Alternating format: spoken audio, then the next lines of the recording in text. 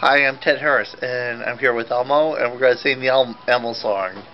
Oh, the cow goes moo, and the dog goes meow, and the bird goes Hi, tweet tweet. Oh, Nick. So, how did you enjoy Jay's party? Oh, fine. Um, you remember Nick, right? See? You're you're obviously in the middle. I'm sorry. I apologize for for interfering with Oh, that's your. okay. It's good to see you. Oh, Nice to see you. Um, so did you enjoy Jay's party? yeah, I did. He was. I I'd have to say that Jay was kind of. Oh, excuse me. Well, actually, we're actually I'm with Ted Harris. I found I found. We're all, we're actually all the way back near a children's books. Okay.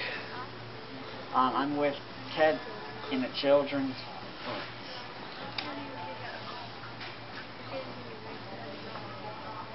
Okay. Okay. Um, that was Shawanda, support staff. He was, she's up at the coffee station, Yeah. way over there. Yeah. Um, but didn't you feel kind? But didn't you real? Didn't you notice that Jay was not was upset about? He was like he wasn't really in. He wasn't really birthday savvy. Oh, um, is he dread getting old? What? Was he dreading getting old? No, he was dre- he was sad. He was sad about his grandfather's passing. All right. Well, really, it's well, really, it's more about like um. It was really more about um. It was really more. It was really more about um.